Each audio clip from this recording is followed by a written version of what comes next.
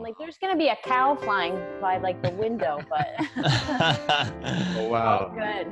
Oh, that's good. Okay. You're in the, the the sunshine is the eye of the storm. the sunshine is a false advertising sell to get you to move here. I'll put it that way. But nice, nice. I traveled around America when I was 18, and I spent. Um, I was like really like had no cash basically, and I was in Key West, and I, oh, yeah. I, I, basically slept on Key West for on the beach for four nights, and um, they had one of the biggest um, hurricanes on the way at the time, and I've mm. never I've never been stuck in rain and a storm like that before. I was there with there was three other guys. We were all just sleeping on the beach, and the storm came in, and it was like the most ridiculous storm you've ever seen. And the only place we could hide was like in these public toilets, but they had closed the public toilets because they shut them the security gate at night. So we were like, we had like this much room, like between the security gates and the roof, and it was just like, oh, it was shocking. The storms there are crazy. My goodness, I bet you have a lot of empathy for homeless people. yeah, well, actually, we met a lot of homeless people when we were there because they were also sleeping on the beach and stuff, and it was actually quite, was quite like nice speaking to them. They they had some great stories and they actually helped us out and these sort of things. So yeah, you have a lot of um, empathy for them. That's for sure.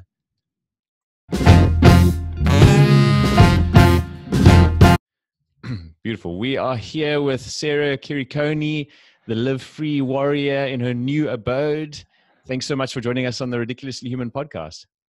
I'm excited to be here. Thank you for such an intro. Awesome. We're excited too. We had a, a little joke before. You had the most amazing coffee mug ever, and we had a good laugh about it. Like we all love these big coffee mugs, and you've got this amazing one with a cool saying on it. And maybe you want to tell us about it. Well, it has there's a funny story behind it and it has own your weird logo on it which is part of my uh, from my book living cancer free the I put the logo on when I originally did it by design and it was upside down. So it came in and I'm like, well, I don't know if I want to flip it or if I want to keep it. And I was like, no, it's it's weird and it's supposed to be weird and I'm just gonna rock it. That's the way it's meant to be. So yeah, the own your is upside down along with the logo, but the weird is the only part that's right side up. So I think it's the weird that's the normal part.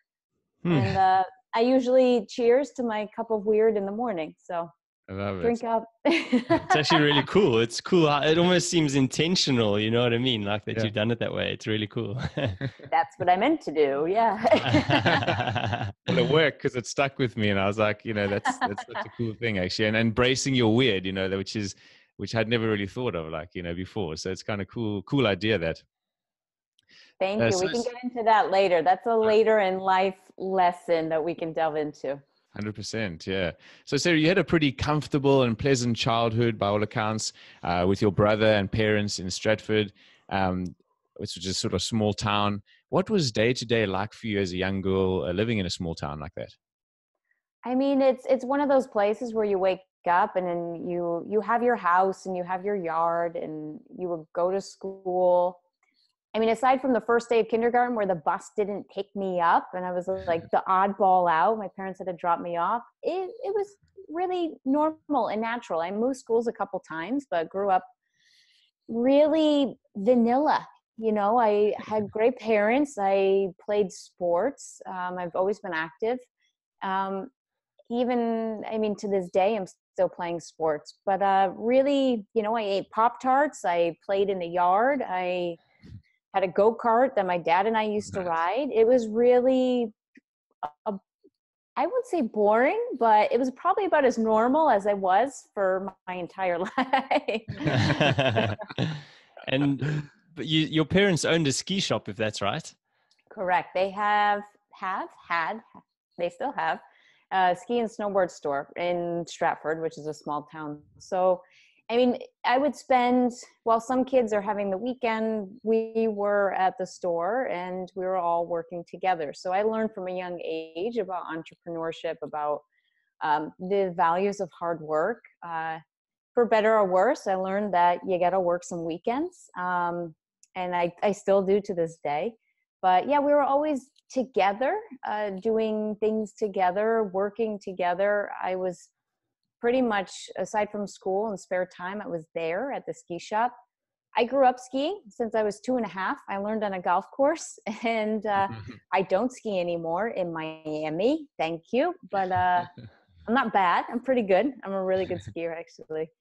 Uh, one of those useless skills that I no longer use. yeah, I can imagine when you start that young, you can you like you only can be good. You know what I mean? It's it's yeah. amazing. It's amazing when you go on the slopes and you see you, when you're talking about skiing. We're talking about uh, snow skiing. I'm assuming, eh? Yes. Yeah. Yes, cool. Yes. Cool. Um. So yeah, you just see these little kids on the slopes and they're just fearless. You're like, whoa, what are you doing? It's just incredible. Uh, and it's so cute as well. Like they have these, they're like all when they're really small, like that age, three years old or whatever it is. Like they're on these little trains that follow the, and they all hold hands and they like kind of go down in this little snake down the mountain. It's, I always thought it's so cute because they've got these big puffy jackets and they're tiny little things. So it's yeah, it's such a cute thing to see actually. they make the little pizza wedges with the yeah. the skis. The legs are shaking. Yeah, the arms are flailing everywhere. Yeah, yeah exactly. The arms are out. Yeah, yeah, it's so cute. so so you mentioned that entrepreneurial sort of side. Um, you also used to like sell these bubblegum balls at, at the at that store, and then sort of split it with your with your granddad and your brother. Um, is that where you sort of things started?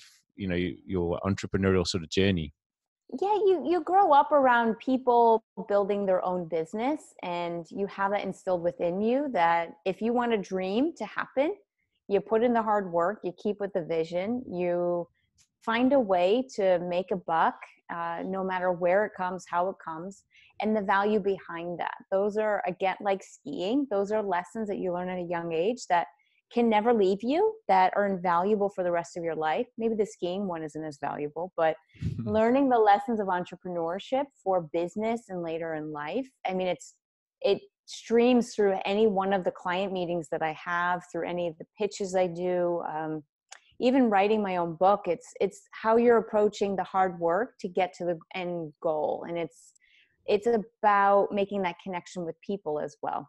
Mm. And uh, like you, you obviously that was with your granddad. Did you have a close relationship with your grandparents? He was he was my closest. He was really the special one. Uh, my grandfather on my dad's side, who started the ski and snowboard store. Well, at the time it was just a ski store, but.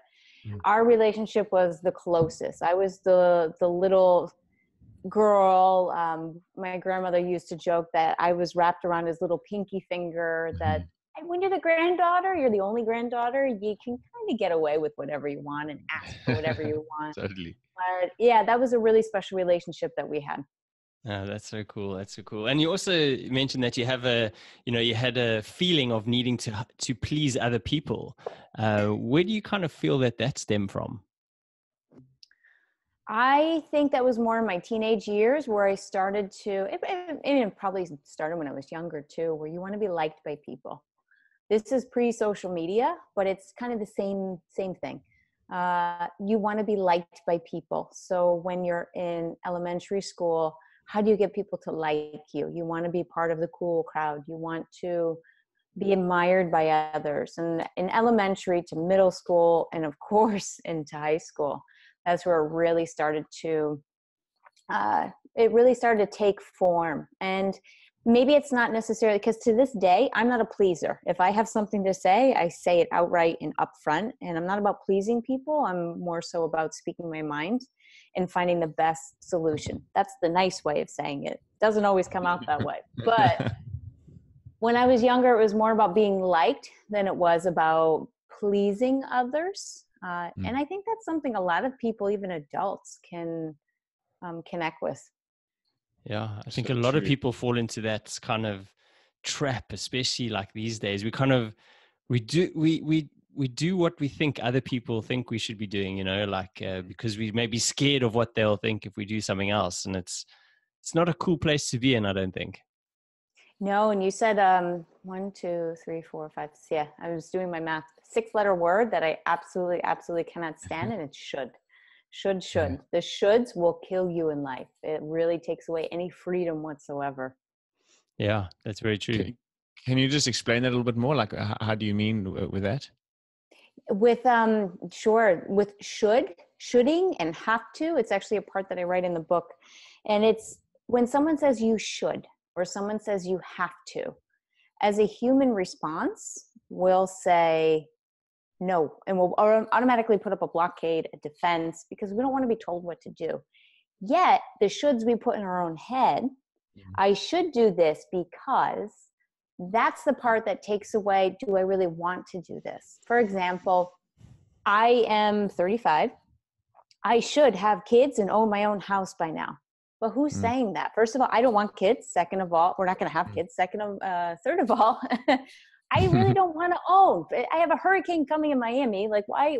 Then you have to worry about all those things that come with it. So yeah. there's choice. It takes away choice. Shoulding takes away choice from what you actually want to be doing. And when you put the mm. shoulds and the have tos aside and you create your own list of how you want to live your life, then you move into more of a, a freedom zone rather than a shoulding, I think is the best way to, easiest way to put it. yeah, put, yeah that internal dialogue is so important you know like like what people say to themselves every single day. And like you just said that should is definitely one of those. How how do you kind of or what do you sort of suggest to people to use instead of should or have to and that sort of stuff? Choose uh, and mm. want. Choose and want or opportunity. It really depends on the sentence. Mm. but using i choose to means that you're empowering yourself I want to means that you're taking responsibility or I have the opportunity to takes it out of something that's maybe negative and puts it into more positive. But it depends on the, the context, but those mm. would be the words that I would um, suggest. Yeah, yeah, it's always much, much better choices. Those are empowering sh- uh, words to use rather than disempowering or unempowering. Yeah, Correct. Yeah. Correct. Yeah, it's amazing. Like the, those words, like not not maybe the shoulds or whatever, or but maybe the shoulds, like uh, they they kind of put up barriers straight away. You know what I mean for people, and they kind of uh, yeah, this is the subconscious programming that they're telling themselves these things every single day. So they never actually end up achieving stuff because they just, you know, creating barriers for themselves through what the story that they're telling themselves. So I think it's it's something that people definitely don't take enough notice about, you know, because um, yeah, it literally is something you're doing every single day. And um, you know, if you can change it, then then you should change it. you see what I did there? oh, so um, things were not getting any easier in your life, like at this stage. Um, um, so I'm so sorry. Actually, I, I missed a part. Yeah. so slowly but surely, you felt disconnected between the person you were and the one that you should be. Um, this is where your struggle with food actually uh, began, and ultimately your eating orders, uh, eating disorder started, didn't they? Correct, and I mean it really came to fruition when I was in high school. I I was younger than most of the group that I was in for my my grade range. And regardless of age, even to this day, I'm more of a kid at heart than I am the adult. I mean, if you see the outfits I wear every day, I'm happier in fitness clothes. I'm happier in shorts and flip flops. That's why I live where I do. Then I I will never be the person wearing the pencil skirt with the button up blouse. I knew that from an early early time that that would never be me. Uh, when I was in high school, that's when I started to feel like I still wanted to be that girl in middle school who was playing gymnastics in the basement or really into her sports and it was still okay to do well in school. When i started to hit high school people around me uh, and just in general people in high school they wanted to go out they wanted to drink they wanted to stay out late they wanted to be a smartass in school. And that's where i started to feel like i had to change who i was in order to still fit in mm. which I never did. I never did. And even to this day, I don't fit in anywhere. Yet I really feel like I fit in everywhere, like uh, in a good way today, though. Uh, and I'll go back to that. But in high school, that's where I really started to feel that rift of this is who I am, but I'm not accepted as who I am. So this is where I need to be in order to be accepted, which is a false impression anyway. That's mm. all BS. What I was sharing before, um, and going back to what I was saying, it's I don't fit in anywhere yet I feel I fit in everywhere. I think that's the awesome part of travel because I don't have to. I mm. can continuously learn from the people surroundings wherever I am. I can go to a business traveler conference and show up and talk about business, entrepreneurship, frequent flying. And then I can go to a yoga studio and talk about upward dog and the the pranavayus and I can talk about whatever. I can go to a production set and be mirroring what the art direction is like. So it's mm in a way, it's cool to have multifaceted talents, interests, and ability to chameleonize yourself, yet at the same mm. time feel comfortable that that's just me. And it's a it's a very very different place and feeling than when I had in high school. How are you feeling like like with you with yourself in high school? You know, like were you just sort of not liking yourself, or what was the feelings you had? Imagine being. Uh, imagine so we were talking about kids skiing earlier imagine being a little kid skiing with that giant jacket that was four sizes too big for him or her or on the opposite imagine being an adult wearing a kid sized jacket you just felt like you had this i felt like i had this skin on this body this environment around me that i didn't know it didn't fit right it didn't feel right and that's how i felt in myself for a, a very long time and were you talking to anyone about it, like your folks, friends, or did you feel comfortable doing that? No, no. Uh, I don't think at that age you really talk to mom or dad about anything except, "Can you drop me off at the mall, mom, please?" my friends, and then you like yell at your dad because you're so not fair, dad. Um, I never talked like that. I really I, I never had like that stupid, thankfully. That's what you say. yeah, yeah, come on. Well, I did it. I promise. parents, I think. ask him. I was a pain in the butt. That is for sure. I was not the easiest child. Uh, I wasn't the worst child, but I wasn't the easiest, and I was always stubborn as hell. And when I wanted to do something, it was just even to this day. If I wanted to do something, it's just headstrong going to do it. But that's where I really felt a big, big disconnect when I was younger.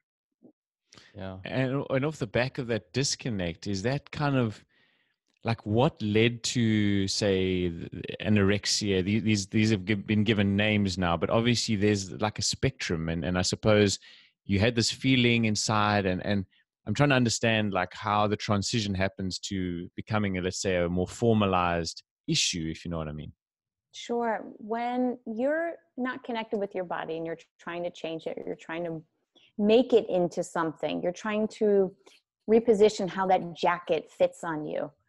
The easiest way to, you start looking for what can I control? What can I take charge of? Well, like, I can't control the people around me. I can't control what my parents let me do or not let me do. And the one thing that I could control was food and i knew that food was one thing i can say yes or no to and it's something that i was ingesting so i started to really focus on food and body image and how i looked i wanted to change what that jacket felt like and mm-hmm. uh, the one thing i could control around that was what i was eating that's where i really started to slowly taper off how much i was eating and mm-hmm. i started to eat less and less and less and that's what initially provoked the eating disorder and it started as anorexia and it became a point where I stopped focusing so much on sports. Um, I was playing softball and volleyball at the time. And when I was at a camp for volleyball over the summer, right before the school year began, I was really, really thin. I was very, very thin. And mm. uh, my coach at the time was concerned. And then one time when I almost passed out hmm. while playing in the school year, uh, it was really it wasn't an ultimatum but it was pretty much gain weight or you're not going to play. So i kind of hmm. said well this and i'm not going to play then. Hmm. so i'm not going to give this up. This is finally how i learned to control my life. There's no way. And that's when i dropped sports and that's where i really really delved heavily into an eating disorder which later transformed there's only so much you can starve the body before you really start to need food so mm. that transformed into bulimia after. Mm. And it and with any addictions, with addictions in general, and that's where alcoholism came in later, you swap one for the other sometimes. Mm-hmm. And so it was playing this awful dance going back and forth between the two. Hmm. And maybe like what what is going through your mind when you when you have to eat and you're in the thick of an eating disorder like especially with anorexia i suppose like are you i suppose there's so many emotions going on every time because it's a it's a very conscious thing yeah it's um i mean thinking back to that time especially mm. it was it was trying to figure out how do i get out of this it's a lot of anxiety on top of anxiety that gets brought up because the reason you're struggling in the first place is in part anxiety but then you're also forced to do something you don't want to that you fear. So it creates a double layer of anxiety on top of it. Uh, i remember that quite often where i was trying to figure out how to get out of or how i can say no to making up. You come up with this long list of excuses as to why you don't need to eat with somebody or why you want to say no thanks. Um, i remember doing a lot of that with some of my friends. All of a sudden you start crossing yourself out of some of the activities. So it's a very isolative hmm. uh, and yeah isolative um, disorder. Yeah and, and but did, did do people start noticing or did they start noticing and, and saying stuff like your folks or your friends and things? For sure for sure. And that's where that's when you start raising some eyebrows and sometimes you look for that. You want people to you do but you don't and it's this really twisted mindset. You're calling for help mm. no matter what disorder you have psychological disorder because it's a mental issue you're calling for help. If you're someone who is you know even an even an alcoholic even someone who is a cutter even someone with an eating disorder any one of the addictions you're calling for help in an outside way that you don't know how to voice. So you're looking for that attention but at the same time you don't want to give this up. So you almost push it away because it becomes your safety. It's really and it's not safe but it's a it becomes your coping mechanism. Hmm. Such a yeah such a challenging thing to to understand and to deal with if you're in it and to deal with if you're not in it and you see somebody else that's that's struggling with it it's just like very complex actually mm-hmm. it is and it's um to this day even when i am running and i see people if i'm at the gym and i see people you if you've been there and you've walked the path you intuitively sometimes know i never mm. judge and i mm-hmm. never outright say like oh that's an anorexic over there mm. but you intuitively know something is up it's not something you can really approach somebody and start talking about it it's not like hey how's the weather by the way are you anorexic it's mm.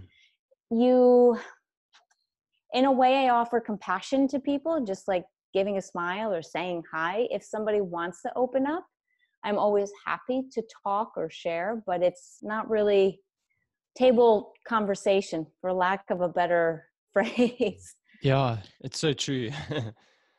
and like what are the like the emotions involved? Like are you I mean, are you um hard on yourself? Are you sort of some self-hatred or is there um, or are you feeling like empowered maybe? I, am not sure like what are the or, or a mix of all of these what are the kind of emotions that you sort of dealing with? Back then or? Yeah like back then in, when you're in the thick of it. You feel in a lot of ways you feel powerless. Uh, you deep if you're honest with yourself you feel powerless but if you are playing into the eating disorder you feel powerful it feels mm-hmm. powerful in that moment to say no i'm not going to eat this and nope i can have whatever uh, 500 calories today hmm. i don't need this um, but you can also feel powerless because when it you know deep down it's not okay hmm. there's nothing hmm. okay with it but you can't overcome it um, later i did but in the moment you can't overcome it so it's really that's when i keep going back to it's this huge separation your mind knows this is not okay your body's telling you yet your your mind starts to override it because it's mm. the choice that you're making it's your control hmm. and now your relationship with food now it's good i mean i'm assuming well i haven't eaten in three days no i'm just kidding i just had lunch it's um i always have to break like darker moments with comic relief. That's just Sara's way of. I bring it back up to light. No, I have been really, really. I've done the work, so it's not that it comes easy, but I've really overcome a lot of the struggles with food, and now it's food is energy, food is taste, food is what do I enjoy, food is what is fresh, what do I need, how do I need to feel?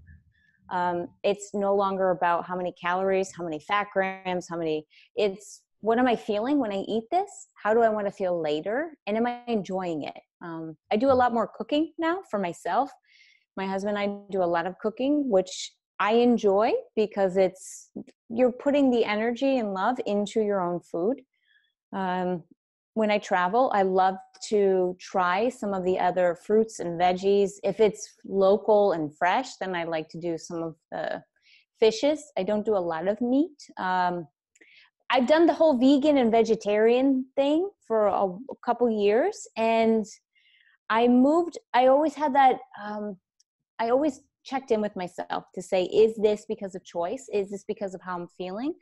or am I choosing to cut out food groups? And it was always, mm-hmm. I was always checking myself to say, no, this is because this is how I want to feel. And so that was very important for me not to get into the labels again. So now when people ask me, oh, you're a yogi, you must be one of those vegans. And I was like, no, I'm just flexitarian. They're like, that's not a food group. And I'm like, it certainly is. And it is for me. So it goes back to the weird category. Uh, yeah. I was wondering, so someone that's dealt with anorexia, right? would, would do you ever fast or like as a let's say now you're in a much better space and all that is that can that be like triggering for you or do you just leave it alone or or do you still like well that's um, you're totally cool with it now you'll you would fast in terms of a health sort of a in from a health aspect i'm going to say i've never done a fast before. Um, mm. if i were to it would be from a health perspective mm. um, but I know I don't I don't do fasting now. If mm-hmm. if I'm speaking to somebody and they are asking me, I would suggest be sure that you're doing it for health reasons and not falling back into an excuse. It's easy yeah. to buy into our own excuses when it comes to food in exactly. in any capacity that you can make any reason or rationale up for why you're doing. Um, mm. But it's not something I don't feel the need to. I mean, the closest that I do to fasting is sometimes I won't um, have breakfast and I'll mm. jump into the first meal of the day just but it's not uh sometimes I feel like it's more energy if I wake up and I'm starving I'm not going to not eat um totally. but that's really it's just a, it's a constant what's going on inside my head and you mm. become very self-aware uh, of why you're making choices and over time those choices start to become your habits so you really just retrain yourself with your habits. Mm. Yeah, for sure. Yeah, it's a sure. It's a it's a long process that I can only imagine. Um, getting from where you were to to where you are now. It's uh, it's a it's a great transformation. So going back to to the story, you mentioned alcohol, and actually alcohol became quite a big part of your life then too. Um, what was it that you sought out in alcohol? the escape from the eating disorder, the escape from my mind, the escape from the world, pressures, the shoulds, going back to the shoulds, it was an escape. And I do really believe that's what a lot of people use alcohol for today, too, or mm-hmm. any addiction or any kind of, um, I'll say drug, but when I say drug, I use it loosely. It's the same having three drinks just to forget your day is the same as going on Facebook for an hour and zoning out. Uh, you doing checkouts, like different ways to check out of your own life because you don't want to think, you don't want to feel, you don't want to deal. That's really what alcohol did for me. Hmm. And was it was it like serious addiction or was it just you know like a few here and there? I don't think waking up Monday through Saturday, drinking first thing in the morning to stay off the hangovers is normal. So I'm gonna go with yeah, it was a problem. Yeah. A bottle of whiskey. Wow, it's crazy. I was a big so vodka drinker. Yeah. Big vodka. Wow. No ways. That's crazy. Yes. And so, would you still have hangovers? Like, I know I always wonder if you drink a lot or regularly, like, do you still get the bad hangovers? To this day? No, I mean at the time. You know, like you've you've you you kind of drinking fit, let's say, very drinking fit, and um and so like, do you still wake up every day with a hangover? Then, if you're drinking every day? it was a way to avoid it um, so you didn't feel ah. uh, so in those days no but the day or two or three that i didn't because I, I was in school and um, had to do work but i would uh, that's where i would fall back into the eating disorder it would just ah. go back into an eating disorder so you wow. you swap one for the other wow, you don't want to feel so how do you still function but not feel and you choose a different drug a different hmm. alcohol a different disorder it's crazy. Like like you said earlier, you know, so many people do these kinds of things. Maybe don't even realize. Like you'll need like a few coffees in the morning, and then you might have a sleeping pill at night or a drink, and and you you have these ways of like just getting your body feeling better instead of like getting into your own head and your mind and your body and just like connecting with it. It's it's pretty.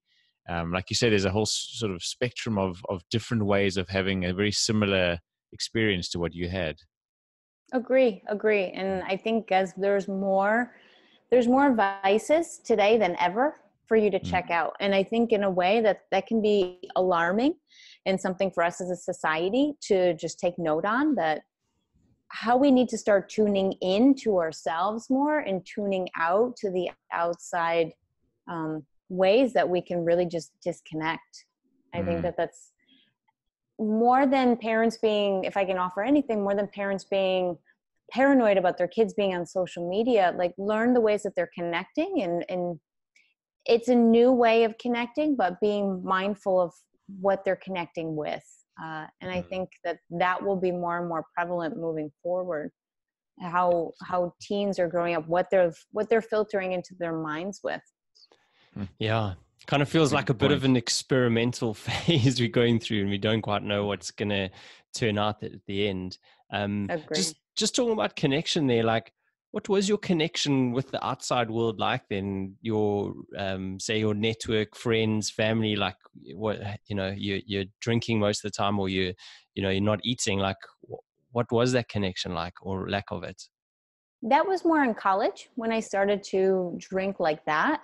Um, I still tried to drink when I was in high school. I was I had the worst luck in the world when it came to getting caught with alcohol. Like it was really the world telling me, just stop, Sara, really. Um, but when it was, that was more when I was in college, and I didn't have that much of a social life. I'm an introvert by nature. I love to get out in crowds and talk with people, motivational speaking. Um, you know, when I do some events, but I also need to pull off and regroup my energy. I'm very much an empath, so I need to also keep certain energy barriers up for how much I'm letting out. Uh, but back then, it was really I didn't socialize that much with people in school because you, you can't have too much of a social life if you have an eating disorder or you want to drink to the extent that you were there mm. were i had some friends and they knew it was probably not good what sara was doing. They didn't know to the extent that i was drinking because it would be like let's go out on the weekends which in college i think that's fairly normal we'll say. But uh the extent of how it continued to the next day wasn't normal. That part wasn't normal at all. So mm-hmm. once or twice people would say something to me but it's it's like the eating disorder. You can't you can, but the person's certainly not going to listen because they're not ready. And I mm-hmm. wasn't ready. You know, it's fascinating just hearing you say that in a way. I was just thinking like, you, that people say it's not normal, right? What you were doing, but it's normal to binge drink on the weekend. Do you know what I mean? Like, there's a double standard there somewhere as well. Like, w- which one is normal? Like, neither of them are really normal if you really take a moment to think about it. But yet, people would judge you in some way because they would binge drink on the weekend, but not on Monday. That's you know that's not okay.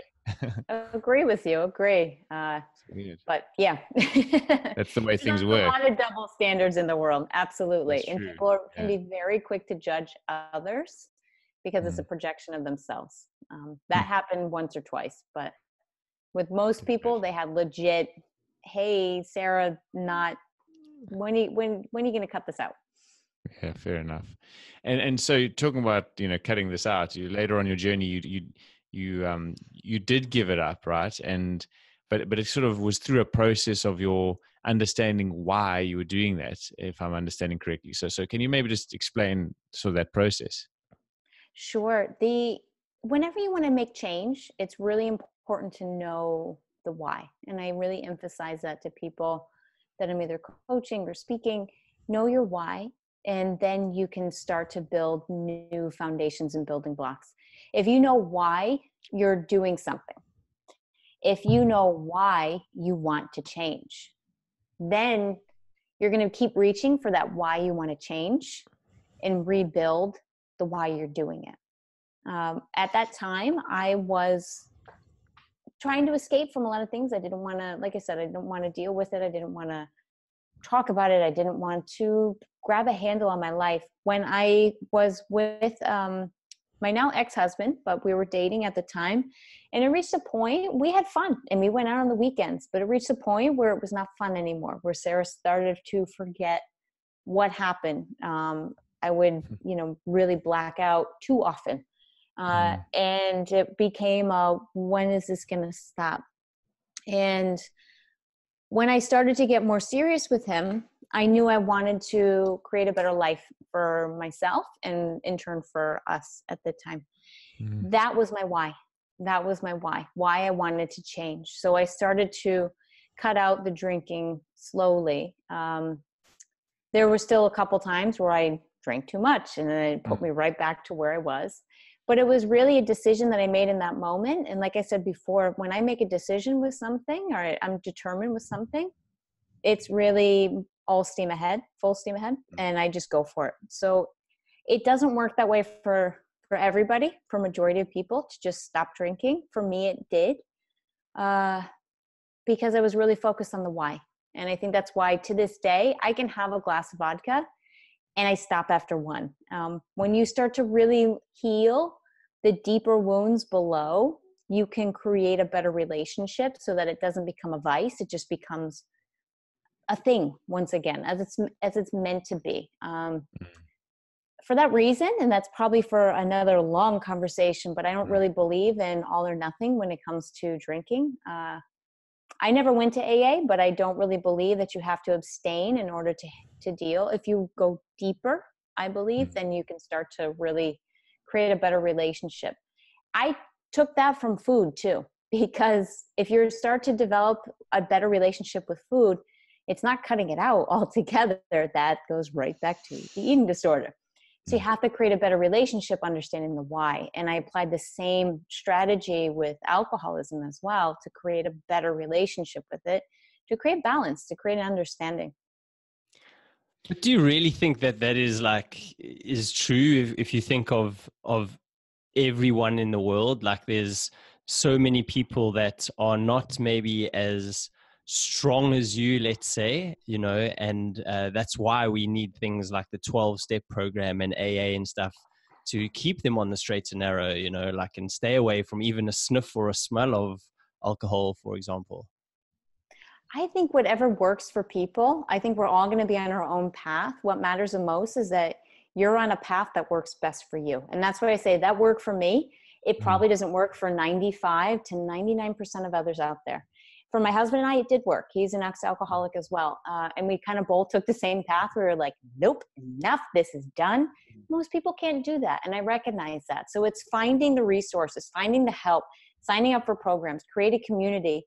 If you're creating the best version of yourself, then that's what matters. How you're getting there is your own train, your own journey. But that you're getting towards that healthier path, that's the ultimate success Mm. And, and and mentally, like, how did you deal with those slip ups? Did you were they like, ah, oh, flip, or what did you? How? At the time, yeah, at the time, it was a lot of shaming because that's what it is in the first place. An eating mm-hmm. disorder develops shame. Alcoholism, it's that morning after that develops shame and guilt. Those two words, shame and guilt, are just they eat you up. Uh, with time, I think like the last time, honestly, I I drank to a point where I woke up and I was like, "Fuck, Sara, too old for this shit." It was probably like three years ago in Vegas, and my husband and I were. It was the night after the Grammys, and we we went out. We had fun. It was the first time the two of us went out. We were dressed up to the nines and we had mm-hmm. fun. And it was a very different than in the past. Like I never went out to have fun. I went out to get wasted. And or mm-hmm. I would drink at home to get wasted. So it was a very different approach. But the morning after we woke up and I was like, what the hell? No, no, no. Mm-hmm. So we did like the buffet thing in the morning and uh, we went to a show later in the night so it's developing kindness and self-love towards yourself um, hmm. to answer your question you start to realize you're human and you start to realize you're going to screw up if it's falling back into old habits if it is making the wrong choice with some or maybe it's not the wrong choice if you're learning something along the way it's never the mm-hmm. wrong choice it's just a correction i'll say so you know with time I've developed more of a compassion and to say, what am I learning from this? What happened? Than uh, you know, like getting hit with the ruler on your hand or something. Mm-hmm. It's it's really what you're taking away from it. Yeah, for yeah. sure. Yes, we, we're definitely like our own worst critics and hard on ourselves when it comes to a lot of these things. And like you said, yeah, it's important to to not be as harsh on you know certain times to give ourselves a little bit of leeway and and to help us get over things um so so basically going back to your story at, at this time things weren't necessarily getting much better for you at all actually because you you had a lump in your throat or you found a lump in your throat so maybe you can kind of take us back to that day um you know what what actually happened and then what what happened afterwards as well sure when when i was first um so there's two rounds of college in Boston. The first time I went away, I was at Northeastern, and that's when I really started to drink heavily and enjoy more of the party going out life. I ended up going through the first trimester and I almost almost finished the first trimester, but it was the first time in my life that I wasn't getting straight A's. I was doing really poorly because I wasn't doing any of the work. I wasn't going to the classes. Uh, so I ended up dropping out and that's when I went back to my family's um, home in Connecticut, and that already felt like a failure. That to me was like a big, you screwed up big time here, Sara. This is really not great. And at that time was when I had this lump in my neck since uh, since I was in high school, but it just got bigger and bigger and bigger until finally it was uh, my mom urged me to go to get it checked out. Um, it was after I went to one of the annual checkups, and she urged me to go get it checked out, and I did. And in that moment, the pediatrician called up to Yale New Haven Hospital and got me an appointment to get a CAT scan of, and uh, and later a biopsy. But it was to get it checked out, and I'm like, okay, what what's going on here? And she's like, you just need to go there right away. And I'm like, you want to tell me anything and of course as mm-hmm. doctors they can't tell you anything because it's liability here in the us so that's when i found out what this lump was and it was being diagnosed with hodgkin's lymphoma two weeks later mm-hmm. that at 19 is you know first it's dropping out of high of college then you're diagnosed with cancer so it's like a double punch of what is going on. And your whole life flips upside down in that moment because things that you thought were important like you know when am i going back to school? How's my boyfriend? All of a sudden things like that don't matter. What still did matter was an eating disorder and it's a mm. really screwed up mentality to have an addiction like such because even though my health should have been the number one concern it was still maintaining my um, my issues with food and how I was going to handle that. So that was being diagnosed, and that kind of leads into where I was after. Hmm. And wow, it's crazy. Yeah, it's just what what was it like? Like, I mean, was there a bit of time between the test and the diagnosis? What was the time period like, and what was the weight like? You know, it's one of the worst things ever to wait between getting an exam like that and getting the results. Um, it's like the biggest limbo that you don't know. You can't sleep. You don't function 100% because you are in constantly this what if. And I knew nothing about yoga. I knew nothing about breathing. I knew nothing about mm. mental health back then. It was just a survival mode So you have anxiety and you're struggling with it on top of having a triple dose of anxiety because you don't know what the hell is your life's going to be like in yes. you know however long. So it's a lot of uh, it's a lot of uncertainty and a lot of anxiety and uh, you don't know what your health is going to be like. So it's all the basic pillars of humanity that creates wow. us as human beings to be okay. It's just like we're just going to pull all these out from you. It's hmm. like floating. Wow, Sara. And and I mean, it's just it's hard to comprehend how you must feel in that in that time. Did you have a feeling of like impending doom, or did you kind of feel like this is not good, or, or, or were you like, oh, it's probably nothing? Kind of, what, what kind of mentality did you have in that period? Great question. I think I wanted to believe that everything was fine, and that's probably what I tried to portray on the outside. Deep down, I knew something was wrong. I think mm. uh, you know if it's your body, you know in your body something's not right. How I always tried to portray to the outside world is that everything is fine, and that's mm. part of what I developed with in eating disorders. I'm fine. I'm fine. I'm fine. I'm okay, but it's deep down stuff isn't okay. So you start to once again develop that distance between mind and body even further. Wow. So, so you had that you had that uh, lump on your neck for a long time then. It grew, yeah. It be- it started as a bean. We called it a bean in high school because someone was giving me a neck massage, and it was like, "What the heck is this?" And I was like, "I don't know. Let's just call it a bean." It's um, it's it was in my neck as part of the lymphatic system, but then it started to grow more and more to the point it was almost the size of a golf ball. So it was really not normal. Um, that was in my neck. So it metastasizes. And when cancer cells double, I mean, it's like compounded interest. It doubles mm. and doubles fast. Where was it, uh, Sara? Like just on the side or down at the bottom? On, yeah, it's if you go down the scalenes in the neck, which is one of the neck muscles. So it's right above the collarbone. Yeah. Um, that also ties up to just under the ear. So there's a line uh, that goes from down the side of the neck uh, mm. Those are all your lymph nodes, one of the main parts of the lymph nodes in your body. They run all throughout your body, but that's one of the main ones. Wow. And you ended up uh, actually going through 10 months of chemo and radiation and goodness, it just uh, must have been so tough. But what was your experience of that like during that period? I, um, when most kids in college were thinking about what party they were going to, I was wondering, am I getting chemo next week? So it really put me in the weird category for sure.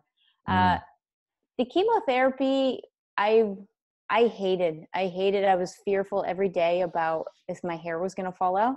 Mm. As a mm. female, you really identify, and even males, and you identify with how you look. If you're already self conscious about how you look and you don't like how your body is, and then, oh yeah, we're going to make your hair fall out it doubles the I really don't like myself. Um, and even when people were like, "Oh, you have a cute, you have a great shape of a head," and it's like that doesn't make me feel mm. any better. wow. So I, but I fought, and I fought for a long time, and there were ups and there was many downs, but um, especially I was in the PD section, which was a blessing because you're around a higher energy than when mm. I I briefly was in the adult oncology. The adult oncology is really, at least when I was there 16 years ago, it's a really depressing feeling. You're just in these rows. It's like a cattle call, and you just get plugged into your IVs. Um, I'm sure they've come a long way now, but it's mm. still it's not a pleasant experience. Um, for kids in PD, at least, it was I hate clowns. They had clowns. Um, they had dogs sometimes. Do you had like people who were a little bit higher energy and mm. uplifting. Mm. It was sad, of course, seeing babies going through chemotherapy because, like, I did dumb things in my life. Okay. So I get it. I haven't yeah. helped this situation. But that little kid was born into it. So there was also that heartbreak feeling. But at the same time, I took it as a responsibility for myself to stay upbeat, to stay strong. And I think that was an underlying blessing when you're going through something like chemotherapy and and fighting any kind of disease like that you have to develop an inner strength and an inner resilience to keep propelling yourself strong and forward and mm-hmm. that same thought process that wants to put you down you just have to keep overriding it and like i'm rebuilding myself i still struggled with the eating disorder so it was you know really a uh, a split, a bipolar mm-hmm. mentality mm. that I wanted this health, yet I wasn't doing the st- the steps to create that health. But then at the same time, you had the mental strength to kind of still be positive. It's really this weird mm. mix, isn't it? The mind has a really powerful capability. My mind has always been, I mean, all of our minds are super strong. The mind can override anything else within the body and our human capacity. Um, but at, my mind really just overrode everything. It was like, what do I want? How do I want to be? And coming back to that idea that I was, I can be, and I was a chameleon. So the face that I was there was very different than the face I was when I was by myself. Mm. It's funny. I always actually just think, just saying, hearing what you're saying now, Sara, about the mind being so strong it's almost like hospitals and places of, like this should we should try and bring the energy up and and have sort of have that sort of childlike not childlike maybe is not the right word but like just a um an uplifting environment more because i don't know how, like you can't sort of overstate how important you're trying to be positive is in, in these kind of situations isn't it? And it's it's kind of weird that there's such a big difference between like kids and then adults. Suddenly that's not important anymore. We don't need to feel like you know supported by fun people and good people. And, uh, and i think it's you know it's really actually quite a uh, uh, fascinating sort of thing to think about why it's so different you know? It's a great point that you bring up. I mean you go into a kid section and there's colors there's mm. crayons and you go into an adult section and you have the news on Mm. It's yeah. really, you know, and it's the latest shooting or a mm. fire or a bombing or the president. And it's, mm. I always to turn it off. I bring my headphones everywhere with me because if I don't want to see, I, that's my responsibility to tune it out. Yeah. Uh, but yeah, it's really night and day when you go from kids to adults. But it's true, and that's why I try and create that element of play. Mm-hmm. Um, that you, you to feel not just youthful, but also to stay upright and happy and curious about the world yeah. around you. Yeah. yeah.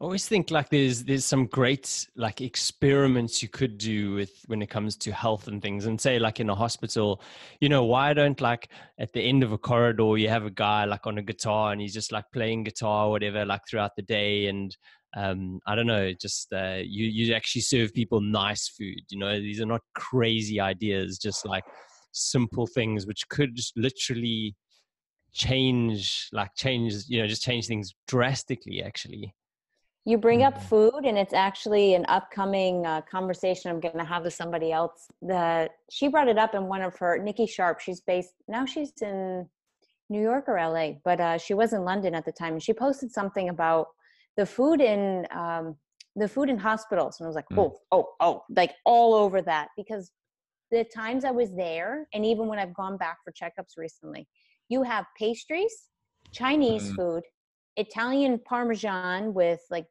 bread and cheeses and if it's fresh it's one thing but this is not fresh because you're in the middle mm. of new haven and it's not exactly little italy and in rome. But anyway it's all crap and short it's all crap. There's burgers and fries. And i remember one time going to get my bloods taken uh, and there was a kid sitting in the lobby in the waiting area and he had burgers and fries and I said to the woman taking my blood, man, I can't believe that that's still the only thing that they feed these kids. And she was like, well, at least he's eating. And I was like, that's exactly the wrong mentality that I want to fight against.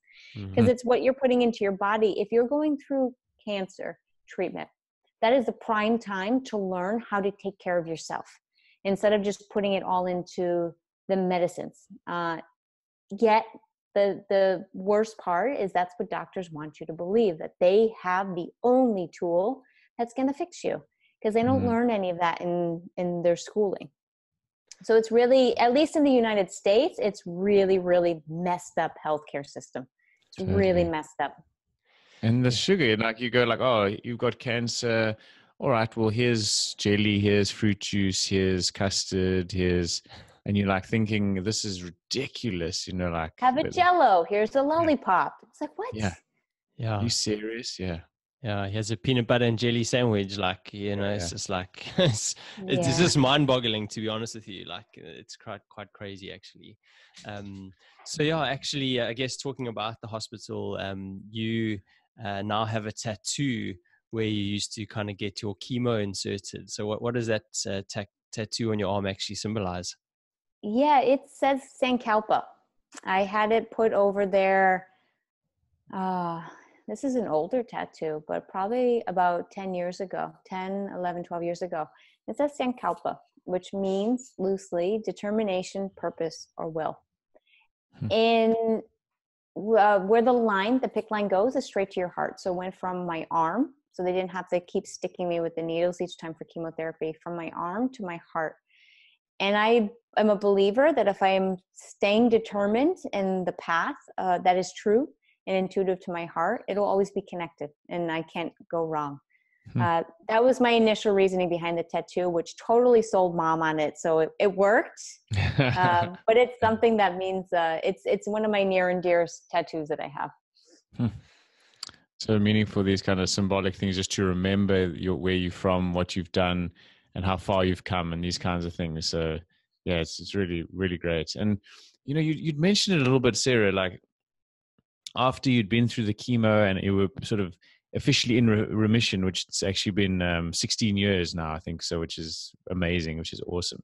Um, you find yourself still in like a, a bit of a strange place where you were you were mentally you knew you had a second chance at life like you were like yes we you know it's done i'm feeling better whatever it is but but you're still struggling with the eating disorder um, that must have been really hard on you as well. I felt this big pressure that i needed to do something amazing now. After mm. when you're given a second chance in life i felt this big pressure that i had to be incredible. I always put that pressure on myself ever since i was young to overachieve to be a plus student it was it was never my parents it was always me um, and even after cancer i felt this double pressure that you are a lucky one and now you need to go out and do something awesome but i still when you don't learn the foundation you will fall right back into old habits. And that's exactly what I did. The years later, so we'll start talking about the healing path. The years later, I had a job in advertising after college. I got a job in advertising as a junior art director at a great ad agency in Boston. Phenomenal experience and opportunity. It's it's very rare. Uh, so I, I felt very blessed for that. The downturn of the economy, um, of course, laid off majority of anybody in advertising, and I was one of them. So then I was unemployed. I felt once again not good enough, not worthy, and that put me really deep into a spiral of an eating disorder. Again, hmm. I was married at the time, uh, or I was just about to be married, and then I got married later when I was freelancing. Um, and the struggle continued, and it continued, and it wasn't until uh, at that time it, it reached a point where when i did start to work again that it got it, it was better and i stopped hmm. throwing to be very specific i stopped throwing up uh, i don't know how long it was but it was around that time when i started working full time again what started to heal was when i started taking up yoga and when I started yoga, it was how many calories am I going to burn in this? I'm so used to going to the gym but I started to realize that yoga wasn't about the physical benefits, but it was everything that started to heal that disconnect from my mind and my body. That I mm-hmm. started to appreciate my body can hold these arm balances, that I had this strength for a reason, that the body was meant to be appreciated and loved and not just morphed and changed into something that it wasn't supposed to be. Uh, to be playful because in yoga you're going to fall on your butt a lot of times mm-hmm. but it's learning to get back up each time and that's where a big resilience aspect comes into play uh, that was really the start of the healing path for me was when i started to do yoga um, and why i became so passionate enough about it that i actually left my job in corporate to start teaching yoga which i did for about eight years after i only recently stopped teaching huh. And but but your yoga journey wasn't necessarily love at first asana, was it? Absolutely. And I say this to people all the time if you don't like yoga, it's okay. You don't have to like the first class. I hated mine. I really hated yoga. It was an Ashtanga class in a gym. I remember thinking, I'm mm-hmm. like, oh, it's the same sequence again. And if I had to do another chaturanga push up or sun A or B, I hate these things. Boring. so I encourage people if you are someone who's one of those, and don't say you should get into yoga, do it because you freaking want to do it. Uh, find something that you connect with, and that there are so many different kinds of practices out there. Call it stretch time, like whatever you need to hmm. tell yourself. Um, that it doesn't have to be the first one that you absolutely love, but to keep going back and to try something different it's like dating. You have to try again, or marriage in my case. You have to try until you find what's right. Hmm. I, I think actually that's a challenge that, uh, like most people have with everything, you know, like especially starting something new. It's it's not enjoyable when you start something new because you're no good at it. Um, and yeah, you're comparing yourself to other people in the class or whatever it is and you may be thinking about what else you could do with your time sort of thing. So you literally you have to work through you know the first few weeks months whatever it is of, of doing something if you actually want to reap the rewards i think at the end of it. Absolutely. We go back to the beginning conversation we had about the little kids who start skiing at a very young age and you're you're good. Your body remembers it for the rest of your life.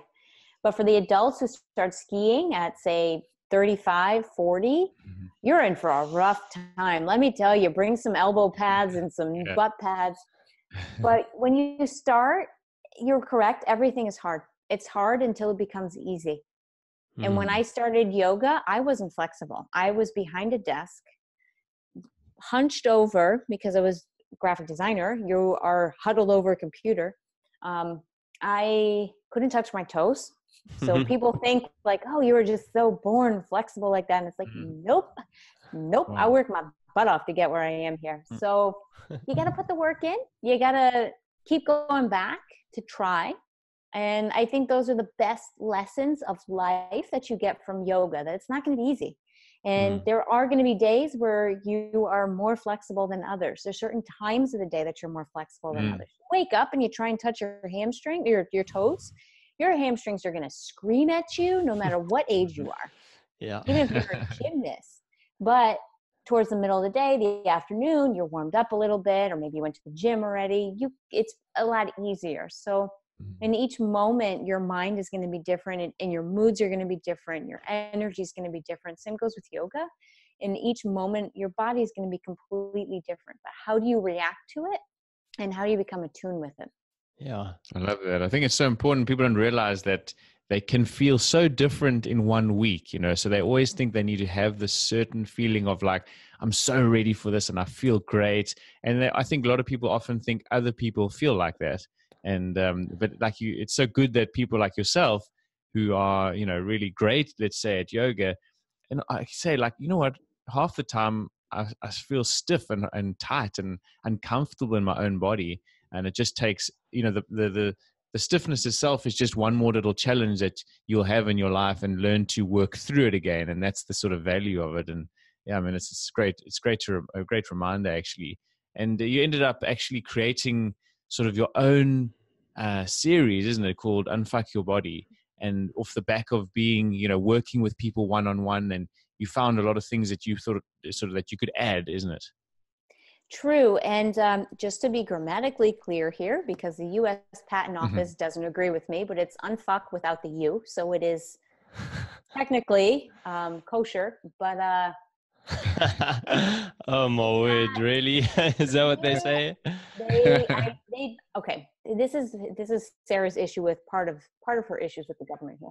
But uh, I paid for the trademark, passed everything. Six months later, they revoked it because it was um, improper language. So they really just wanted to take my money. Uh, hmm. and now it's now I'm getting emails from every lawyer in the country saying we can represent you, and it's like for what? For that? I'm sorry. If someone wants to take unfuck your body, go for it. Okay. Good luck fighting whatever attorney you want. But what it does is I worked a lot with private clients, um, especially here in Miami, and it was the yoga flow for me. I love flow in yoga for myself but I started to get really bored. I get bored fast. Um, I started to get really bored with teaching the same flows in a lot of ways um, with people who were more interested that they would walk up to you after and say, okay, so how do I get into a handstand? Oh my God, your playlist was so amazing. And I was like, if that's the only thing you took out of this class, then I really don't even, like you would answer their question because you're a kind person and you're not a jerk. But at the same time, you're like, if that's the only thing you took out of this, I, this isn't the, this is no longer the audience for me. Um, hmm. I started to realize, and I'll diverge a little bit here. I started to realize what I loved about teaching yoga was sending a message across. And that's where I really started to get more into I can do the speaking and I don't have to do the the flow along with it. Now I incorporate it once in a while for events, but more than anything, I loved providing a message that people would listen to, be inspired by, and want to take positive action in their own lives with. Hmm. So, so, so, what was it exactly? Like, what was the series? Like, how do you, how do you, how can you explain it? Yes, thank you for taking me back. Um, hmm.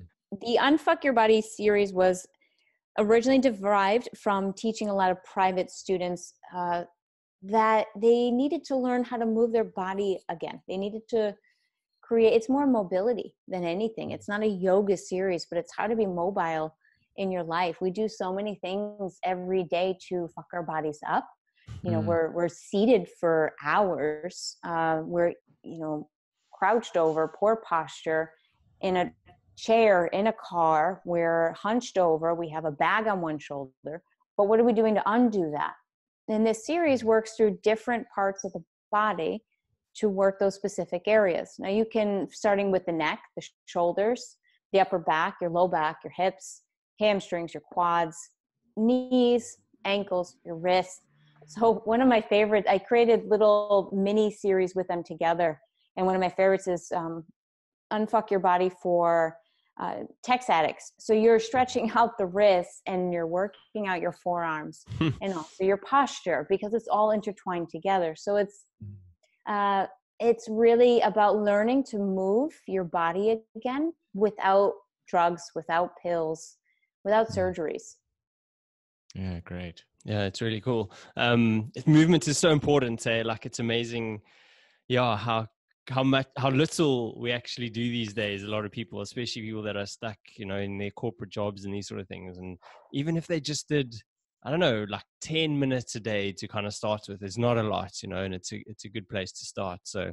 Um, I'm sure it's an amazing series. So, just moving on, like a little bit. Uh, last year, you wrote an amazing book called "Living Cancer Free," Um, maybe you can just tell us a little bit uh, about the book and kind of what brought it about. The cancer part, and I always preface this, is a cancer can be defined in many ways. It can be the physical cancer disease, which I've been there, done that, but it's also the poor relationships that we're in. It's the, the negative thoughts that we're putting into our minds every day. It's the poor eating habits, the poor drinking habits, um, the shoulds. It's all of those things together. Those are all cancers. And that's what I propose in this book. It's redefining what is a cancer. I take you through my story and history. I take you through the downs, um, which we've talked a lot about in this podcast. But I, it's really it's detailed, it's raw, it's honest. I don't hold anything back. I put mm-hmm. everything in uh, because I really wanted to connect and help people. The more honest you can be, I think the more you can connect with people in those moments, uh, those emotions, because they say, okay, it's not just me. The second part of the book starts to take you through the healing process where I found yoga, where I started to my first marriage, into moving, into re evolving my career again and again and again, finding another marriage. Um, and then the last part of the book gives 52 tips, tricks, exercises on how any warrior reading the book can follow a similar path and it creates a reconnection of the, the mind the body your it takes you through four different elements one is to detox which has nothing to do with juices it has everything to do with unfollowing stupid people on social media um, unsubscribing to those 50 emails that we just swipe delete swipe delete uh, it has everything to do with you know creating the tribe around you. If you're like the five most important people, well, they better be pretty awesome that are going to inspire and uplift you. Mm. Uh, the next part is about creating mind body connection. Uh, the other part is about nourishing yourself, which goes beyond food. It's also what you're telling yourself and creating positive affirmations. And then the last part is about living cancer free based on the manifesto that I created. It's a, a 14 phrase um, series. It started as a poster and then it became the values that I live throughout my life. Whenever I'm making decisions, hard ones, and I kind of go back to and I think of them and I'm like, okay, is this aligning with who I really want to be and who I am? Mm. Uh, that's the that's the book. I and that's the structure of the book. What brought me to write it? I was walking back from the beach one day when we lived on the beach, and all of a sudden in my mind it just came to me, living cancer free, and I was like, that's a great title. I've always been really good with titles for things, and I was that's a great title. and I've had a lot of people in the past say, you have to write a book, you have to write a book. I'm like, I'm not an author. Like I write blog posts every now and then, but I'm not an author. Mm. But I, I am, and I'm a writer and I'm a creative in every aspect, be it photography, video. Um, and so I knew that part of my own personal healing journey had to be getting this out. And part of mm. my path as a warrior and as a motivation in the world, as a give back, was to provide the tools which is why it was important for me to put in this book not just the problem but also offer solution. I think too many times there's autobiographies that are telling you how about this person that it becomes very one-sided. So for me it was very important to have here's how you can do it too um, to create a balance and actionable steps. Yeah i think that's that's such a good part of a book is like uh, having kind of you know this tutorial and steps to to to you know people that people can follow and and do actually some tasks or actions off the back of it that's where that's the kind of different differentiating factor that like is really really helpful. Um, you just mentioned values when and you know you liked things that you do to line up with your values. What are your values? If you want to make change you know take action on it. Um, never settle for something intuitively that you know can be better. And oftentimes that's ourselves. It's like those lies that we tell ourselves if you can be better, um, go for it. To travel, to experience things, to value those experiences over physical things, um, to load up your passport and see the world. Let that be your best education that you can. Um, and you have the power to create any life that you wish for. You just have to take action on it. Those are just a few. Um, you know another one is never try never know. If you you can sit there in the what if phase but until you actually take that leap you'll you'll be stuck in the what if. And i think the worst um, there's a quote and i'm, I'm going to misquote it now but it, regret will kill you far greater than failure. And it's better to fail at something than it is to wish you did it those are a few. Mm, cool. I love That's great. Yeah, people should uh, definitely go check that out. You can check out your your manifesto, and it's there's some really good ones in there. And it's just a good reminder for everyone that that uh, we should all have our own little manifesto for ourselves that, that we can reference because t- things get tough and you want to you know remind yourself of what your your deeper meaning is in your life and it's, it's i think it's really awesome and you actually just touched on it a bit earlier you spoke about um, you know, th- other kinds of cancers in our live, lives. And these things can kind of cause a, a dis-ease in our body. Um, what does that really sort of mean? When we're at ease, we're in a flow. When we feel good, we are feeling one. Um, that sounds really yogic, I know, but we mm-hmm. feel like connect. We, the best way I can put it, we feel connected with where we are, what we're doing, who we're around. When we're in a state of dis-ease we're exactly the opposite of that. So we feel mm-hmm. disconnected from ourselves. We don't really know what we're doing. We feel lost. We feel um, and it's okay to feel lost but on a path towards finding if that makes sense. Um, you feel really like in a bubble in a lot of ways or what am i doing? Uh, the disease is in short stress and not the good kind of stress that creates a change or a challenge. It's the stress that eats away at who you are, your energy, your uh, your overall health. So the dis-ease really pulls life away from you in many ways. Mm. As opposed to disease being like the end state of having a being in a state of dis-ease for long enough. I think it's chronic versus um, situational. So a mm. disease is a noun and it's a, a thing, but mm. the disease is more of a chronic, uh, prolonged stressor that affects every area of your life. And what are some of the common ones you, you mentioned, like people? Are there some others, like I suppose food maybe could be like a another one? Are there others that are like common that you've seen? Sure. The we all have that one person in our lives who's really just a jerk and we hate spending time around them. That's that disease. That's that cancer in our life. And we maybe can't avoid them, you know, but we can also put a distance or limit our time.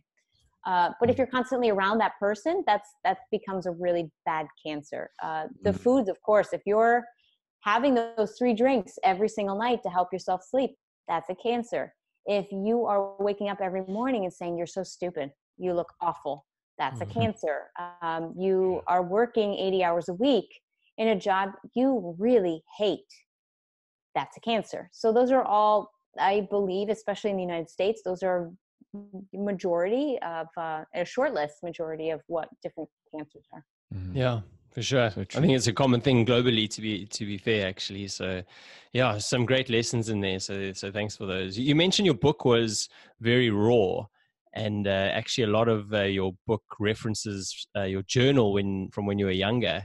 Um, can you maybe sort of tell us, uh, you know, why journaling, why you were journaling, like when you were, you were younger, and like how helpful was it for you?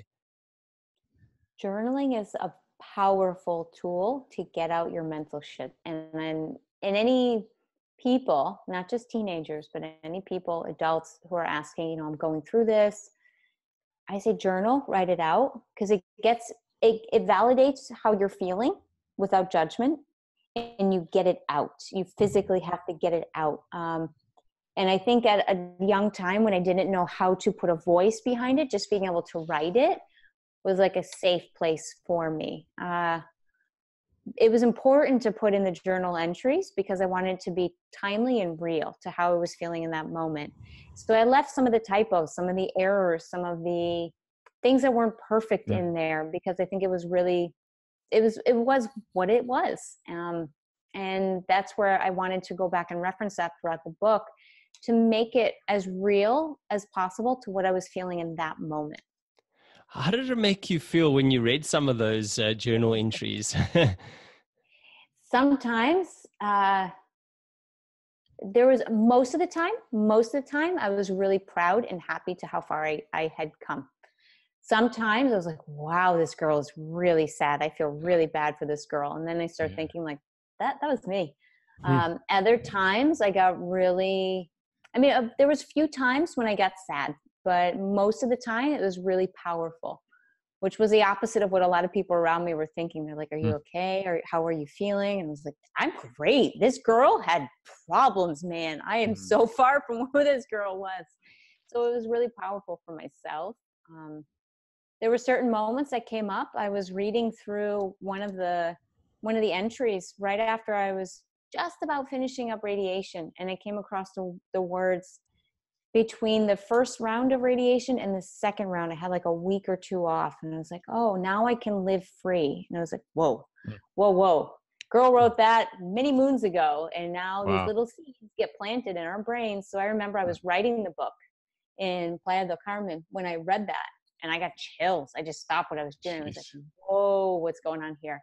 So I seeing those words so many years, it was about 13 years between them, give or take. Uh, but it's amazing. You know, you plant seeds in your own mind that you have no idea when those know. plants are going to pop up. Yeah. Tell me about it. you know, it's amazing as well. As like, I just thinking when you were talking there, it, it could be really therapeutic or healing in a way of like, it's almost like doing inner child work. You know, you, you, you can you can soothe that that younger person inside of you and go like it's okay now like you know and when you're reading those entries and and and really have like a sort of caring um, relationship with that young person that was there before. And I think that's maybe just another reason I'd never really thought of why it's a good idea to journal because you can, in the future, you'll look back and you'll be able to really nurture that that younger self. You know. It's a great point that you bring up because that's what a lot of, from what I read and from what I have heard when you are dealing with childhood issues that still are there and prevalent in your adult life that's what a lot of psychologists will encourage you to do is go back to that childlike state where you were that you left off mm. and you exactly as you said you want to give that kid a hug and just say whatever it is that you would want to say to that child in that moment that you you were lacking um, so it's mm. exactly it's exactly that great. Yeah. And and sara look just uh, slightly more on the on the sort of practical side you actually published the book yourself and went through a sort of self-publishing process. What was that like? I self-published because I I knew I wasn't out to make millions from the book. I knew the point of the book was to get the information out there as soon as possible and create more of the movement and the talk and the conversation around it. That was more it was a story that I wanted to share, but then go deeper when I was doing speaking events, uh, doing small group events. Um, it's now leading into doing uh, i'm actually going to be recording soon an audio version of the book um, a 28 day series that i'm going to be coming out with pulls from some of the exercises that are in the the end part of the book the workbook so it's um, and i'm doing it a yoga event in boston as well and it ties in some of the exercises so it's it's extracting the information from the book to give it a different life and legs. Mm-hmm. the self-publishing is um if you want if you have a publisher and you want to be the next uh, stephen king get a publisher. Don't self-publish. But if you just want to get your message out there you want to put it in the hands of you know where you want to and you're want to control that then you know self-publishing can be really empowering and uh, mm. it's faster it I'm a designer by trade. So for me, it was really important to design the whole interior, the cover. I designed every aspect of the book. So for me, it mm. was also an art project in many ways. There's some hidden messages within the book as well with some of the artwork. Um, so that's it, it was fun in a lot of ways. Mm. A quick story when the the first proofs came in, they sent me two proofs of the book and it came in the mail and my husband got it and I left mm-hmm. it on the counter. He's like, "You don't want to open it?" I was like, "Nope," because if the cover is off, I'm gonna freak out, or if oh the screen is too much. so he had to open it, and he shows it to me, and I'm like peeking over his shoulder, and I was like, "How's it look?" Like, "It looks oh. great," and I was like, "Okay, let me see it." But it was almost that that inner critic once again that was like, oh, "What if I screwed up?" Uh, mm. I knew it would take me a long time. If I had one, if the interior of the book was off, it would take it would take a couple days to fix that. We'll we'll put it that way. But uh, it was fine. It was fine. Oh, what a relief! and, and you, you talk about hidden messages. What is it like? Sort of sacred geometry sort of stuff, or what, what were the messages, or is it still a secret? I'm deep. I'm not that deep, but one of the things is you can um you'll follow the arrows that are in the chapter pages. So the first part of the book, we're going downhill, baby. And then the next part of the book, we're going up. So that's ah, one cool. of them. Ah, awesome. Okay, cool. And and has has a book given you sort of leverage, maybe that you not do necessarily seeking, but has it given you given you any sort of leverage now? I'm working on, in some ways, in some ways, people who have read my story and they're like, "Damn, um, some friends who have read the story. They're like i had no idea. And then other people who know me and they're like this honestly is really good. You need to get it into the hands of teenagers moms and teenagers. So mm-hmm. i part of my due diligence now is to do another resurgence of the book uh, because it hasn't been given the proper marketing push uh, mm because I know it needs to be in the hands of many more, especially teenagers. There's those crucial moments in your life that you you don't feel comfortable talking to mom and dad about your friends you got to act cool in front of but this is a, a real accountable um, story and life that many teenagers i think can associate with. Eating disorder or no cancer or no you we mm. all struggled in high school. It was a zoo in high school. We all do. And i can only imagine in today's day and age with social media that's only gotten worse yeah. I mean, the whole time you've been saying your story, that's what I've been thinking. I'm like, you know, youngsters really kind of need to, you know, to listen to this podcast, your story, read your book, because it is so familiar for a lot of them. So um, yeah, definitely will be great getting that out into into more youngsters' hands. That's for sure. So you talk a lot about like living free a lot, and you're known as the live free warrior. What does living free actually mean? Living free is really that empowered choice that you are authentic, you are living your truth, you are being you, you're owning that weird, you're okay with it, and you're making the choice for what you believe. It's not the shoulds, it's not society, it's not your school, it's the choice that you're making because it's the best for you. That's the living free. The warrior part is sometimes you got to fight for something. Sometimes you need to stand up and you need to go a different route or take a right when everyone else is going left. Mm. Um, a warrior, too, isn't a fighter always. And that's maybe a misconception. I learned a lot from martial arts trainings that I've done and you're you're fighting for defense. You're not fighting for hurting someone else. You're fighting for defense. But fighting sometimes is taking the pause or taking the quiet route. So that's the warrior part to do the to to be okay, that inner strength to do the best for you. Mm. There's wow, there's an amazing book called The Way of the Peaceful Warrior, mm. and uh, it reminds me a lot a lot about what you just said there now. Who's the author? Because uh, I think I know it. Is it Bach? Uh, I don't know. I can't remember. I read it so long ago. To be honest with you, okay. I, I, would totally butcher the name. That's for sure.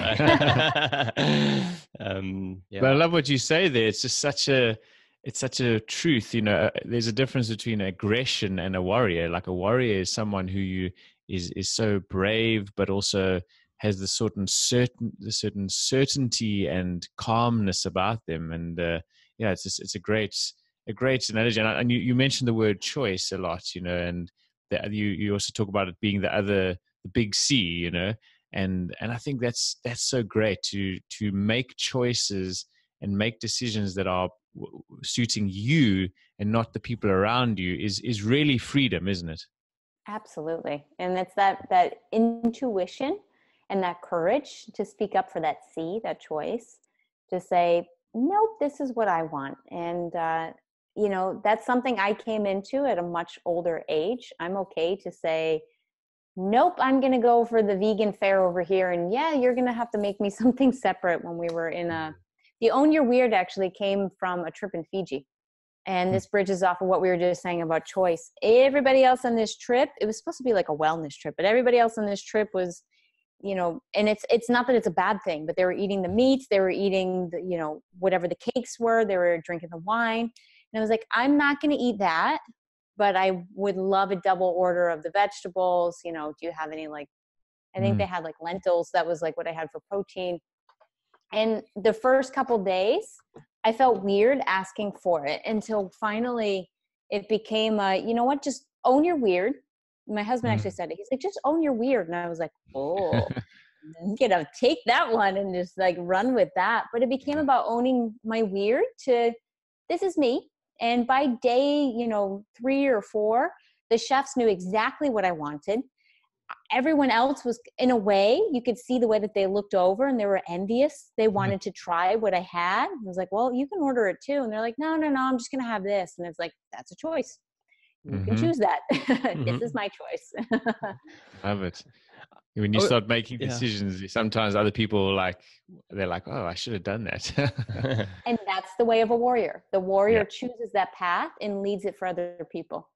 Yeah definitely i was just wondering do you know kelsey abbott at all sounds familiar just because i don't know there's so many similarities we had her on our podcast uh, not not too long ago and she's like she talks a lot about like how we are all weirdos uh, she also says like we should not say should and have to and all these sort of things. I was like, it's what you say is like very very similar. It's just really interesting. Um, you know, and you both got fantastic stories.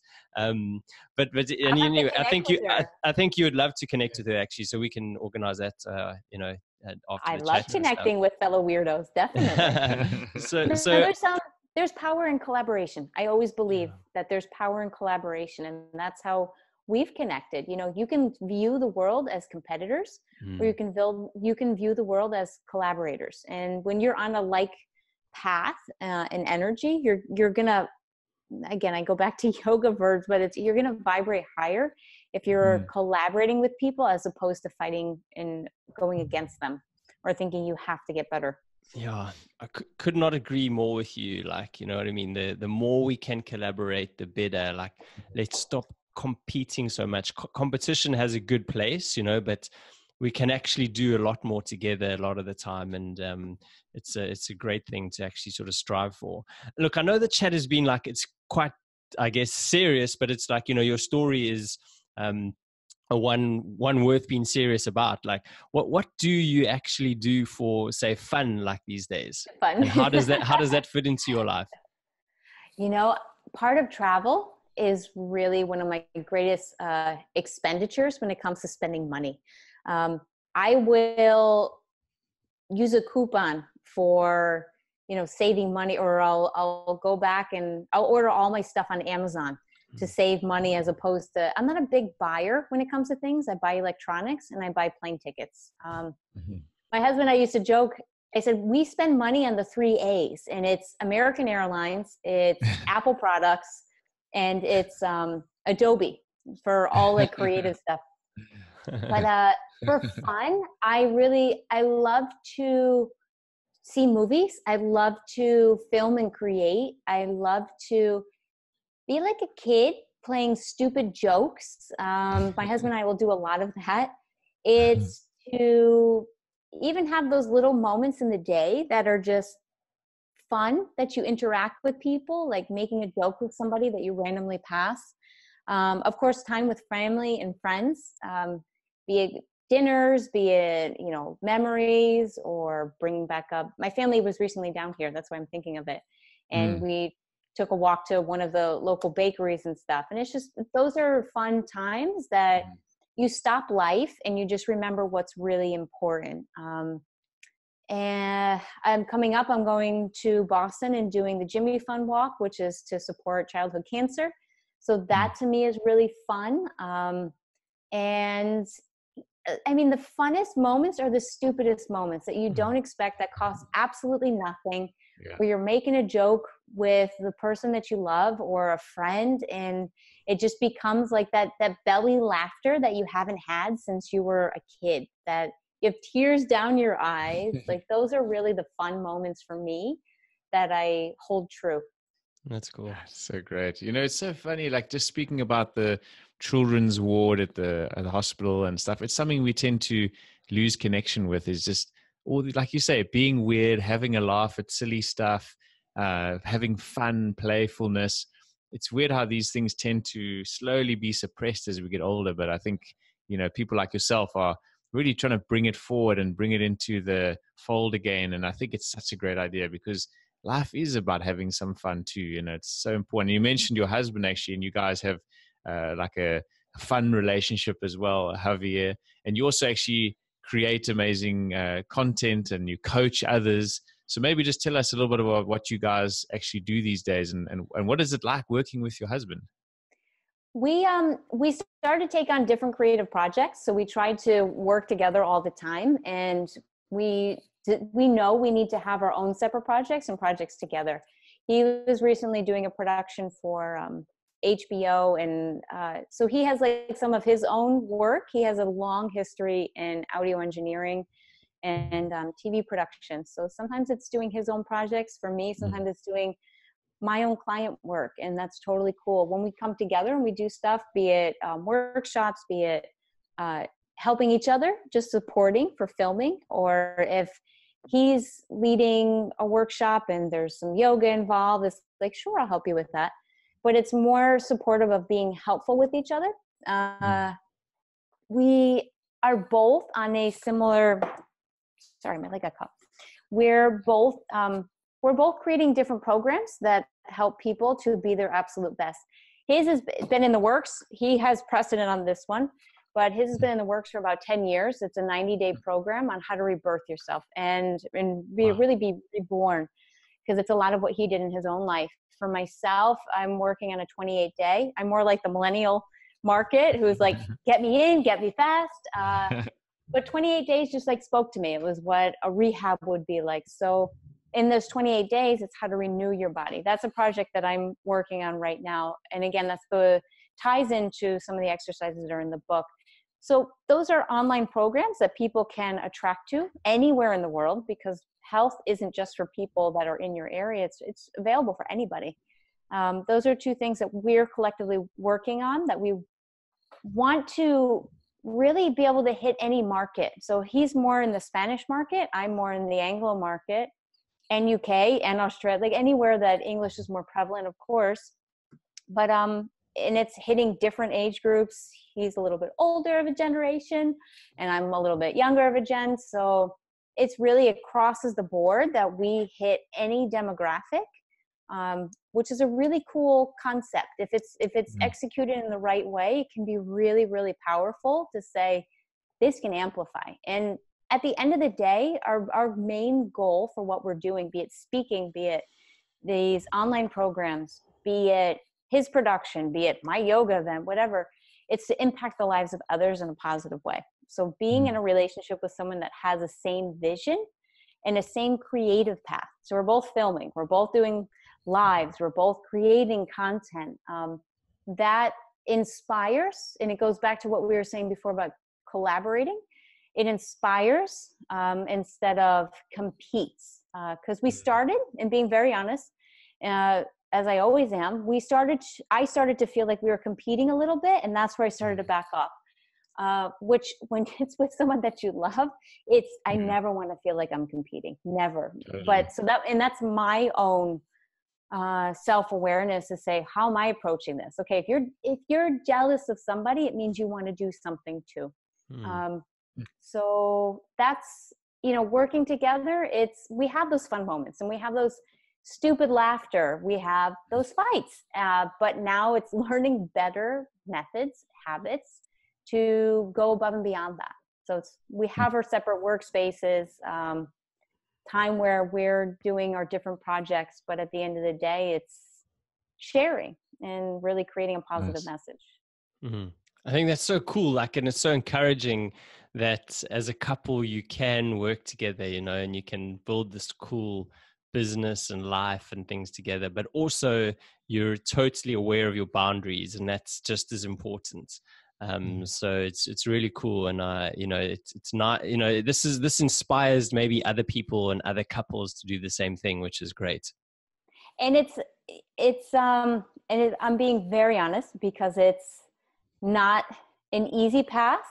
Like my parents worked together and they were in the same store it's very different working across the room from your significant other and they the small things start to add up where they piss you off because they're making the mm-hmm. slightest noise on their keyboard and then it's like okay we need to change something here so we certainly certainly are not perfect and we have certainly uh, had our fair share of headbutting moments um, mm.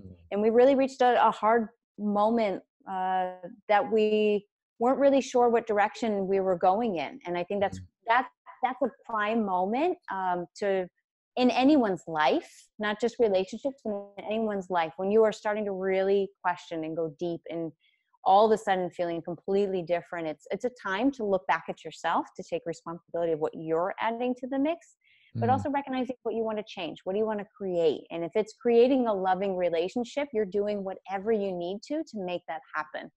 So mm. if that's the empowerment part that you can maybe be afraid to work with your significant other but don't get so stuck on one path that that's the way it has to be done. It's evolving each and every step of the way and you're remaking agreements and you're seeing how it goes and you're checking back in. And in the mm. long term you're going to find a way that works best for both of you.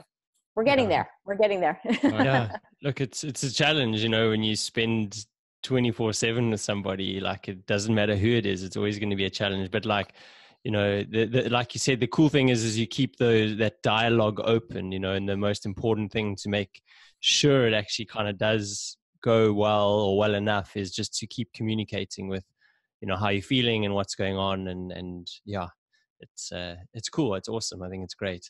Um, so maybe you can just tell us a little bit about uh, what you're excited about now, uh, what you have coming up in the future, and then uh, also where people can uh, just get hold of you. I'm really excited for creating more content uh, that will be streaming live on both Facebook and YouTube. I'm saying this out loud because it's going to hold me accountable. uh, Good at first. yeah, yeah. I started developing this like two days ago, um, so it's very, very fresh. But I want. I'm really excited to start sharing more content on a regular basis. That's live. That's interactive. That is both wellness travel based because it's a passion of mine, but also going deep like we did in this conversation today, and sharing more of those um, those harder moments for people to connect with yet also providing the edutainment is like is what I like to say because uh, I think they're both very intrinsic for growth. I'm really excited for launching the 28 day program. My goal is beginning of 2020.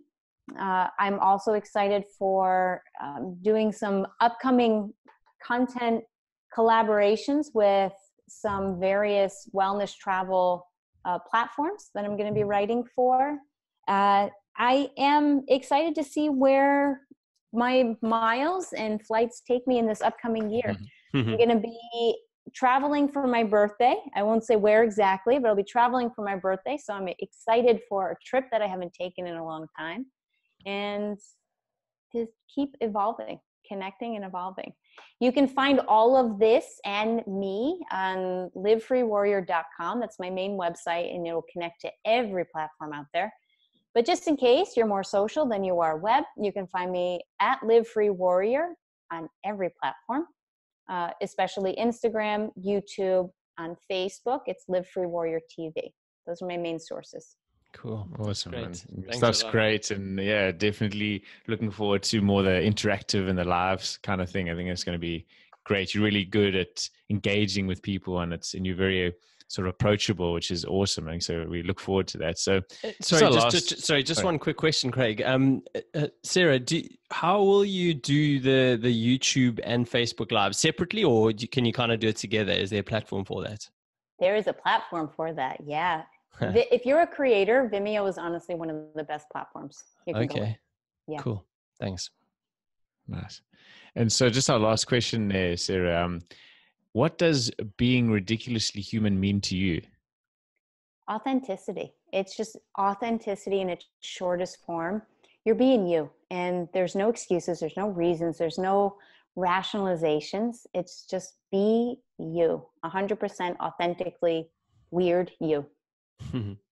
Love it. It's the simple truth is like we have human traits that are not always fitting into a certain box and just embrace those too. It's I love it. Yeah, really good. And um, look, Sara, we've had the most amazing conversation. Like, uh, honestly, you've just been so forthcoming with like with tough times and and you know uh, tough emotions and the wins and the, the trials and tribulations. So thank you for that because it really does create this connection with you and um, I think you you know you're going to connect with so many people more and more in the future youngsters as well. I think you hit the nail on the head. I think youngsters definitely need to hear these kind of things because one way or another, they're all going through it. We all go through these same things, you know, but not everyone talks about it as candidly as you do. So, so just thank you so much for that. And, um, you know, talking about having a positive impact, I think you, you, that's one of your like values. And I think you, you really are doing that. I mean, just the two of us for, for sure right now and, and everyone listening. Um, and that's just going to grow, you know, more you do. And so we're just really looking forward to seeing, you know, where you're heading in the future. And, and thank you so much for, for, um, you know, just being a guiding light and the, the honest and an authentic guiding light um, through sort of our life journey. So yeah, thanks for spending the time with us today. I appreciate the medium, the audience, and for sharing the message. And I hope in the future it'll take me to Australia too, very soon. For sure. cool stuff. Cool. And and just uh, briefly from me, Sara, I just wanted to say like a massive thank you. There's this kind of theme of I I feel like strength, which which you have and you've you've kind of always had. Um, it's it's just kind of guided you in in your life. You know, even in those tough moments or thing or times when it seemed like maybe you you weren't as strong. You know, uh, with your say your eating disorders, but there was some, there was a strength that always kind of like kind of pushed you and and and moved you forward and and this is still what goes on and carries you in your life which is which is really cool to see but um, you also you just got this epic story but you've got this diversity to to what you've done and what you've experienced and it's kind of like manifested and nurtured itself into this um, this epic offering that you have now you know like you have so much kind of wisdom that you can kind of draw on and you can uh, help people with which is just um, such an important thing. And i think it's uh, it's great what you're doing. It's great how you do it. Uh, you speak super well. You're like you're extremely succinct with with your thoughts and within how you converse them. And i think that's an art within itself. So um, it's been such a great chat. Honestly, like uh, the time literally just flew. So um, it was it was really really interesting. Thanks, like Craig said, you know, for sharing the um, the authentic raw side of everything. I think that's so important. And um, yeah, just wishing you all the best with everything and um, wherever that holiday trip is. I hope it's an awesome one. And uh, yeah, thanks for coming on the Ridiculously Human podcast. I appreciate it. It's a passion and it's an honor and I'm going to Toulouse. Breaking it dawn, packing the gears, September tour, and up in the air. Stop at the toll, digging.